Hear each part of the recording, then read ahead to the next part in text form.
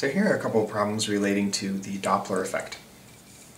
Uh, the first question says that um, you have a person who is uh, standing and observing an oncoming ambulance right, at some speed emitting a, um, a steady 800 hertz sound.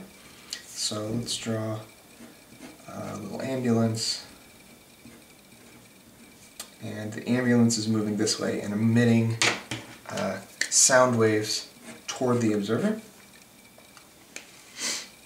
All right, so the question is, um, what frequency is received by the observer? Right, and then the second question uh, is, um, once the ambulance passes, so once the ambulance drives by, um, now what frequency is observed by the um, by the listener? Okay, so um, the equation that describes Doppler shift, all right, says that the observed frequency, so f prime, is equal to the um, the emitted frequency, right? The frequency um, emitted by the source times this uh, ratio, this fraction. Uh, so it's v plus or minus vo divided by V plus or minus Vs. So let's identify those things. Um, v, the unsubscripted V is the um, speed of sound. Okay. Um, VO is the observer's velocity. And Vs is the source velocity. All right, so in this problem we are given some of these values. Um, the speed of sound, uh, they were told it's 345 meters per second. Okay, and that can change uh, day to day because it depends on um, the makeup of the air, which uh, is pretty uh, uniform, but it also depends on the temperature, and the temperature definitely changes uh, day to day or hour by hour. Um, the speed of the observer is 0 meters per second, he's not moving and the source is 110 kilometers per hour. Uh, so we can put that in SI units. If you multiply by a thousand, um, that changes to meters, and divide by 3600, that changes to seconds. Uh, what you get is 30.6 meters per second. Uh, okay, so that identifies the um, velocities, but how do we deal with this plus and minus here? Uh, and the answer is um, you can kind of use your instincts, all right? Because you know um, when the frequency should be increased and when it should be decreased. Uh, so let's look at this. Uh, we'll decide as, as we go. Uh, so for A, where the um, ambulance is approaching the observer, um, the uh, F naught here is 800 hertz, so 800 hertz times this fraction uh, so V, that's 345 meters per second, um, plus or minus the speed of the observer. Well, speed of the observer is zero, so um, we'll just add zero, but it doesn't matter. We subtract zero, it doesn't change it. Um, in the denominator, we have 345 meters per second. And then we need to add or subtract this 30.6 meters per second. Right? So we can look at this situation and say, um, these wave fronts leaving the, the ambulance are going to um, be closer together than they should be, right? Closer together than if the ambulance were at rest relative to the observer.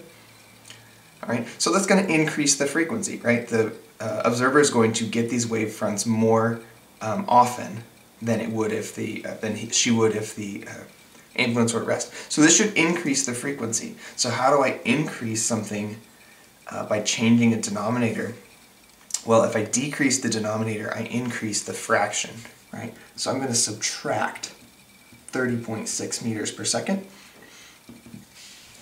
All right, when I do that math, I end up with 878 hertz.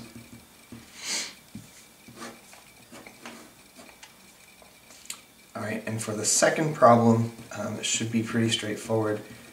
Uh, 800 hertz the observer is still not moving, so it's 345 um, plus plus 0, and in the denominator it's 345. Now the uh, ambulance is moving away, so these uh, wave fronts are actually further apart than they would have been, or they're reaching the observer less frequently. So we should make this frequency smaller, or make the denominator bigger.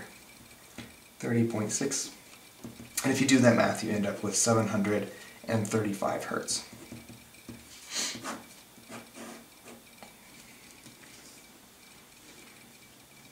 Okay, the second problem here uh, says that we have um, two eagles flying directly toward one another, um, one at 15 meters per second and the other at 20 meters per second. Um, one of the eagles screeches at a particular frequency. Um, what frequency does the second eagle, eagle um, second eagle receive? Okay, so we can kind of draw this, um, or we can attempt to at least. Um,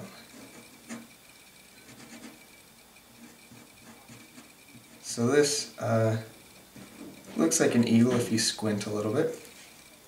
Right, and this eagle is flying this direction at some speed, um, and maybe this is the eagle that is uh, uh, emitting some sound. Okay, so this um, speed for this eagle is the speed of the source. Okay, and the second eagle is flying um, the same, uh, well, the other direction toward the first eagle. Right, traveling this direction. This is V of the observer, and um, he's receiving these uh, wavefronts. So we can identify these variables.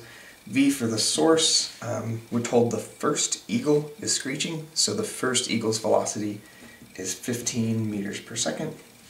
The observing eagle's velocity is 20 meters per second.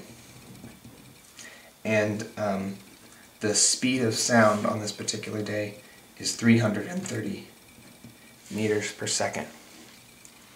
Okay, so we're just going to plug in our equation. Um, the observed frequency is um, f naught times v plus or minus v naught over v plus or minus vs, or vo and vs, sorry.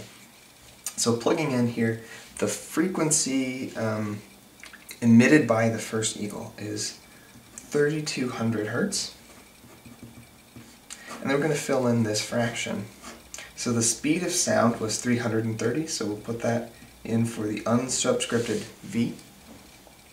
And then in the numerator, um, we have the observing eagle's velocity.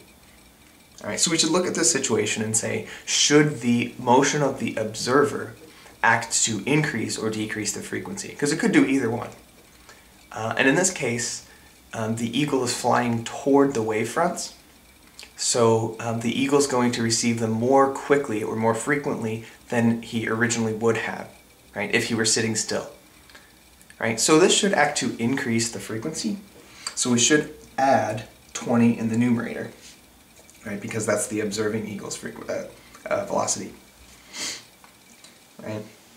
Um, and then in the denominator we have the, um, the source eagle, uh, the source eagle is flying toward the observer, so that again is going to increase the frequency with which um, these wave fronts reach this observer. So I need to increase the um, the observed frequency by changing the denominator, and to do that I actually subtract, right? Because the effects here, um, I need the net effect to be the same by each of these, um, but in the numerator I add, and in the denominator I subtract. So if you do this math, you end up with uh, 3,560 hertz as the uh, frequency observed by the uh, second eagle.